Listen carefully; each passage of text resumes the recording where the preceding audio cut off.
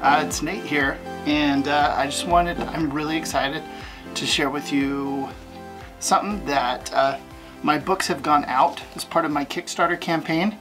So those are now, should be in your hands if you ordered one. But I need to talk to you about something that came along with your book. So I hope you enjoy the story. Check it out, read it. Um, the audiobook is is currently underway. I'm going through the editing process, but anyways, you should be able to jump right into the book. But um, I wanted to talk about one of the little things that came for some of the people that got some, um, some of the more expensive or the fancier rewards. So wanted to talk to you quickly about what that is and also how to put it together. So some of you, as part of your package, got the Fairy Tale Theater and it's pretty fun. I'm excited to share this with you. Um, kind of the, the guts of the design come from something that my wife designed, this theater. Um, and then I worked with her to create this other design that went along with Nellybug and Tooth Fairy and kind of her whole world. So anyways, go ahead and pull yours out and I will walk you through how to put it together. So you'll need some scissors and maybe some tape. And uh, yeah, go ahead and follow along with me. So first you'll need to open it up, pull it all out. And to explain this little thing that comes with it, uh, if you can see right here, uh, this little thing is going to be a light that you can add to it. So for some little fairy lights. So anyways, that's what that's for. All right, you can pull, there's gonna be a brown thing in here. You don't need that, you can get rid of that, or you can use it for something else. If you have a very creative kid, I'm sure they can come up with something cool to go with that. Anyways, so you're gonna take, there's gonna be a few pieces. There's gonna be the front curtain, there's gonna be a rear curtain, whoa! There's going to be backdrops, uh, there's gonna be another backdrop that kind of deals more with the story, if you got the second story.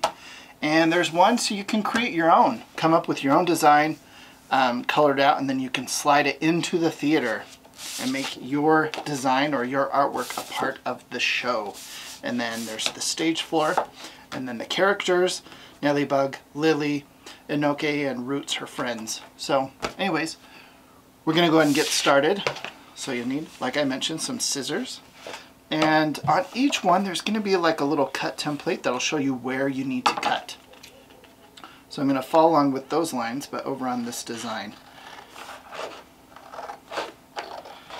If you're wondering why there's a cut line right here, but the artwork goes a little bit past that, that is called a bleed. Not like somebody's bleeding, but it's called a bleed. So if you accidentally mess up and you don't cut right on the line, the artwork still goes a little bit past it, so it'll still look great.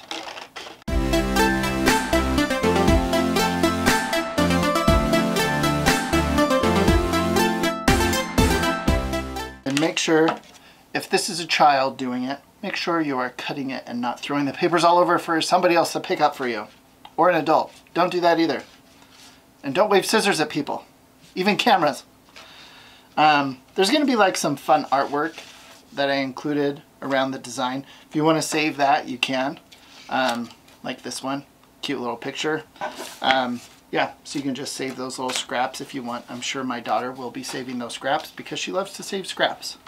I'm going to put this one aside for later, but this is one that if you are doing this on your own and you want to come up with your own design, cut it out, put it in, and take a picture and share it with me online, uh, especially like Instagram. That's something I check out a lot. So I would love to see your artwork and how you have envisioned the world of Nellybug. Okay, so we got the stage floor done. Next, we're going to do our main backdrop. So I'm just following along with my cut template. In this one you'll see there's going to be some little cut lines that go into these shapes. So there's going to be a fold line. See it says fold. It's cut line, cut line. And it's going to stop there, stop there. So when I'm cutting this, I'm going to go along the outline first.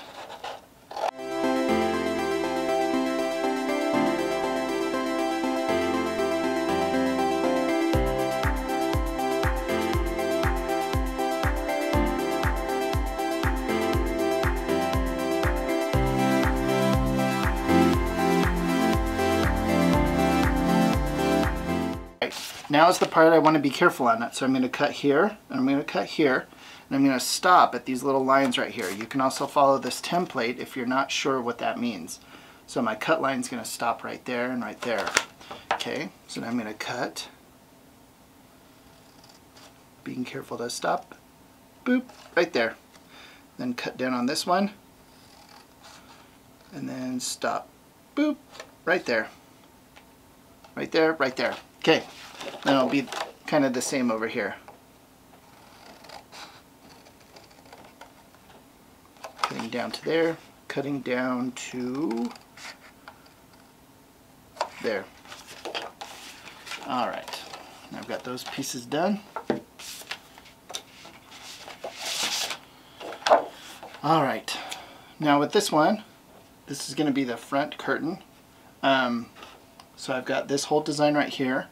I've got some, if I follow this cut template, I can see there's some lines I'm going to cut up to here and then stop. And then there's also this little thing, this piece over on the side, our curtain support piece. So anyways, we're going to go ahead and cut out the main outside.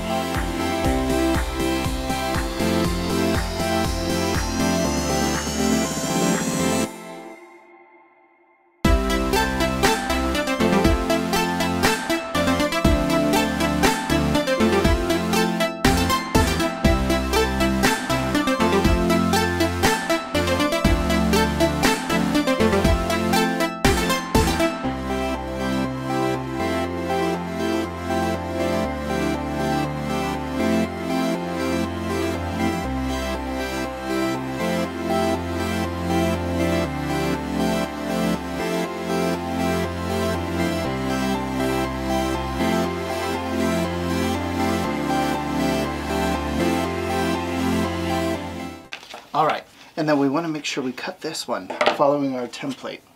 So this one shows we stop right here, and we're going to cut along this dotted line, stop right there at that line.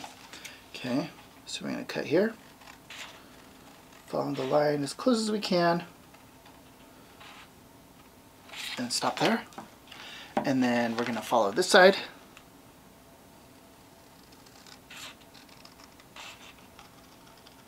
stop right there. Boom, boom. Okay.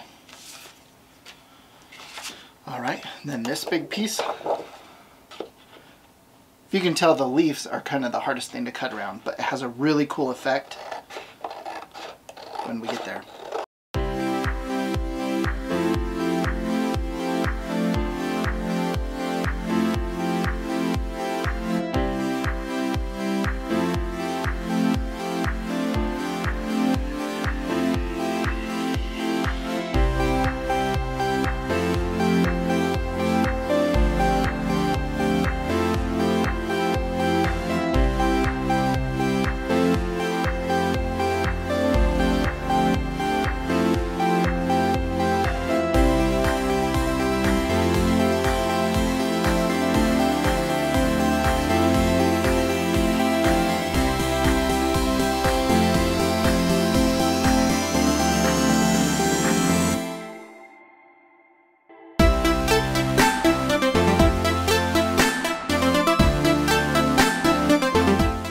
Was the rear curtain. And if you see, following the cut template, there's going to be two more lines we need to make. So we're going to cut those, stop right there, cut to stop right there.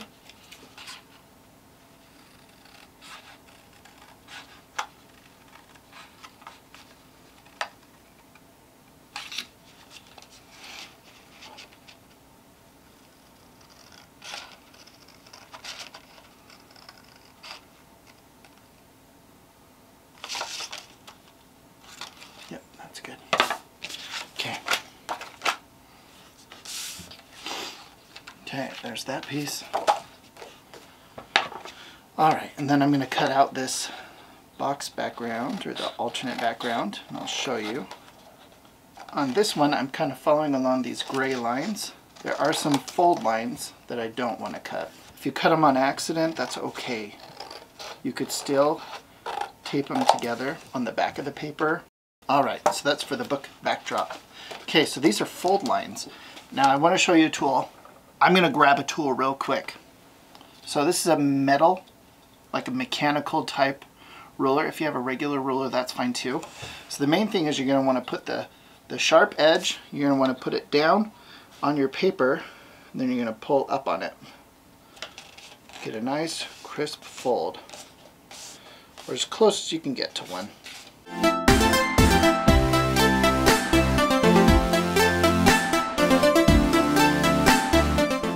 Some other ones are going to have a fold too, like this one. This one's going to have a fold right here. So this is our regular backdrop. So I'm going to put this ruler right here, fold it right on that spot right there. Okay. Alright. And then this little curtain support piece, this one has a couple too.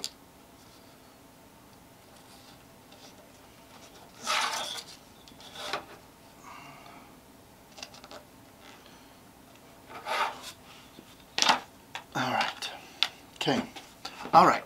So with all of those pieces cut out, we are ready to start putting it together.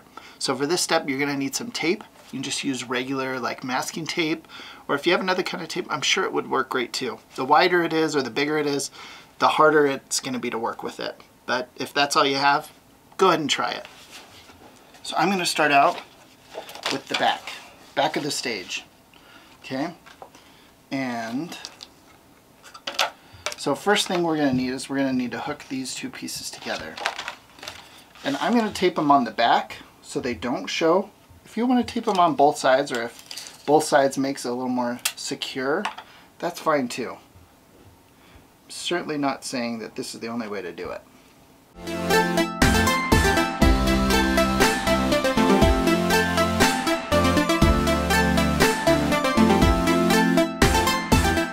Even though when you cut it out, it's not going to be exactly the same shape and size as this on the back, that's okay. We're still, what we're going to do is we're going to tape this. We're going to try to get this as close to the middle as possible. I mean, if you really wanted to, you could get out your ruler, divide it by two, and then mark it and get it exact, but I'm not going to worry about that. I'm just going to get out there and tape it on. So for that, we're just going to tape tape it over on this side. Okay.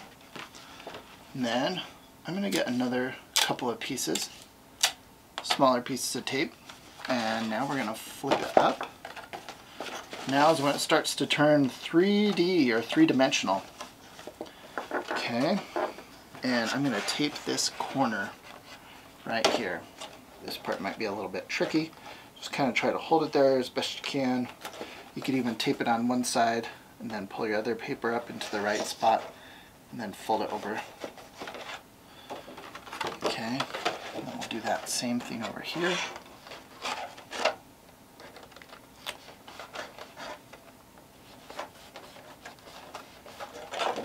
All right, okay, now it's starting to turn into a 3D shape. Pretty cool, right? Starting to look more like a theater. But a theater needs a backdrop. It's got a backdrop, but there's going to be curtains that go in front of it that make it look like a backdrop back there. So first let's put in our rear curtain, which is going to be the one without all of the design. Now that you're cut the words away, it might be hard to remember which one's which. But anyways, it's the one without the wood design on the outside. And we're going to slide it through the slots. And it's going to be the back slots on your curtain, not the ones closest to the front. It's going to be the ones closest to the backdrop. So we're going to put that in.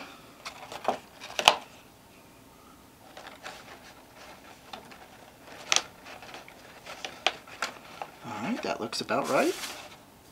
Okay, so there's one. And we'll grab the other one. The other one's just going to go in front of that and the other slots that we made.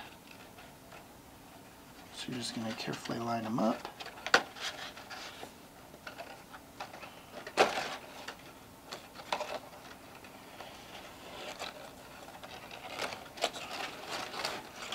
Oops. Hmm, can't get that one. There we go.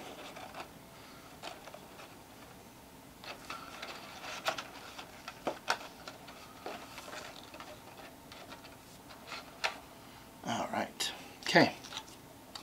And then the last thing I'm going to do is I've got this little support piece that keeps this front from flopping. You can see how with mine it's kind of floppy. It's not it's not held in there perfectly. So what we're going to do with this is we're going to take another couple of pieces of tape. All right. And with this one, I'm just going to tape it and hook it onto the back. So I'm just going to hook that on. And then with the other one, might need to fold this down a little bit more, but we're just going to hook it on to the top of the backdrop. So you can see that. That's kind of how it holds on to that.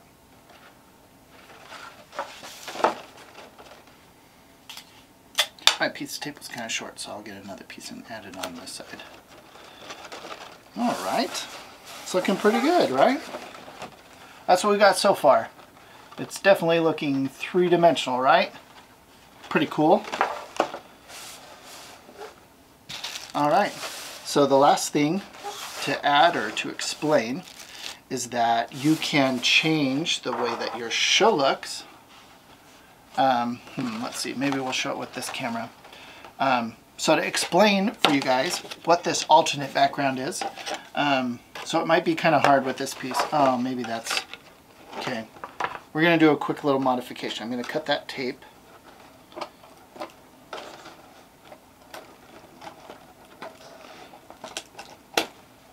Now I'm seeing a potential problem with taping that on all the way.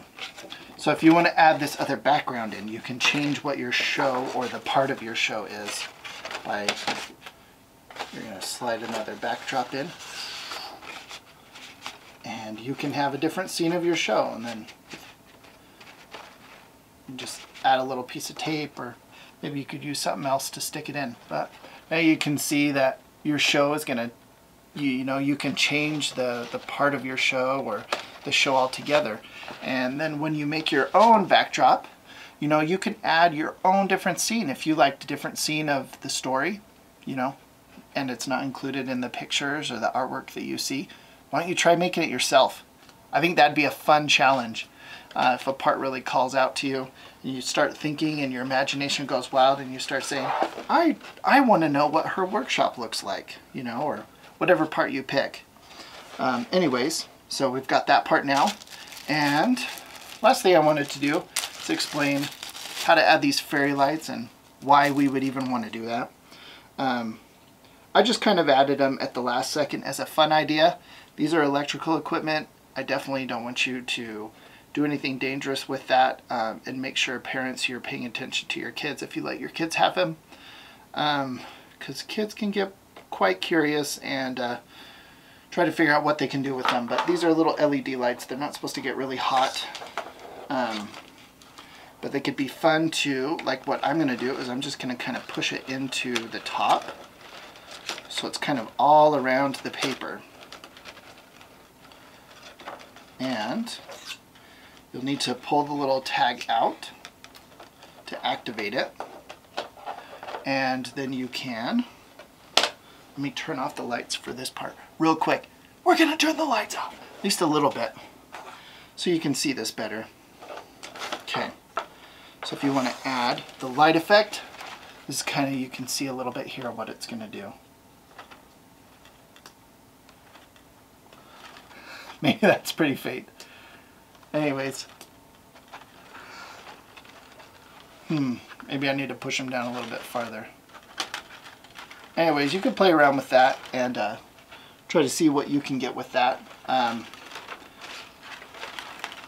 these are pretty faint, but like if you have your lights off, it could look really cool to have the lights, um, you know, adding that other additional element to your show of, you know, like special effects or something like that. Um, anyways, just a kind of a fun little effect. And then your characters, your characters, you'll cut them out, um, and then you can put your own show together. Um, obviously, there's you know there's only a certain amount of characters I've included. There's others in the book. You could try drawing how you imagine either the characters that are like Nellybug and her friends. You can try drawing her. Maybe you imagine her looking a little different.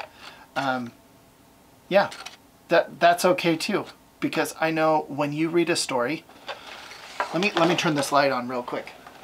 Or at least when when I read a story, I imagine my imagination just goes wild and I start to think about what this world looks like, what the characters look like. And sometimes when you see them like in a movie or something like that, you can be like, "What is that? That does not look like them." That's fine. That's part of the creative process. And I think it's fun to let your imagination go wild. So the fairy tale theater is meant for a way for you or your child or your grandchild or whoever whoever this is something that you're sharing with just to get their imagination going to come up with their own ideas. Um, and I'd love to see them. So you can share them with me.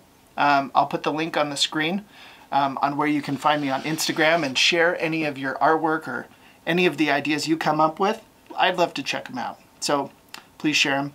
Uh, tag me on Instagram um, or on Facebook too. I check Facebook. Um, yeah, but anyways, thank you for watching this short little video. Thank you for supporting me um, and checking out the second Nellybug book. I'm glad you now have it in hand and I hope you love it. Um, if you love it, please write a review. I, I will look at them um, and I care what you think.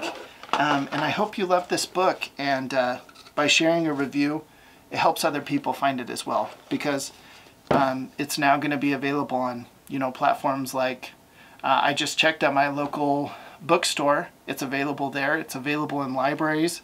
Um, it's available um, on Amazon and on other online retailers. Um, it doesn't mean they're going to have it there in stock if you're at your local library or bookstore, but you can request it and they can have it available for you or for a friend or something like that. And as there's reviews left out there, that helps people find them. The algorithms, they love reviews. They eat them up. All right, last thing I want to say, just thank you for checking out this video. Thanks for following my author journey um, as I've created this Nellybug story. Um, now we're on to the second one. Um, and the third one's actually underway. I've started writing that. I'm writing chapter 10 and there's going to be 14 chapters and that one's going to be a lot of fun too but the second book has been so much fun. I'm glad you have supported me and been there with me. Um, if you didn't get the book when we first did it it should be available to you. So go find it uh, wherever you like to buy books you can look for it. Um, audiobook should be shortly available um, and you can share it with somebody else you care about um, I've written Nellybug in a way that it's it's a story that opens a dialogue. You know, you can talk to your loved ones about issues that are important to you. Um, and I hope it's a book that inspires that kind of a dialogue and that brings you closer together as a family or um, with your loved ones or, or whatever the case may be. But anyways, um, thanks for checking out this video and uh, yeah, share your comments below. Um, let me know what you think um, yeah, anyways, talk to you later.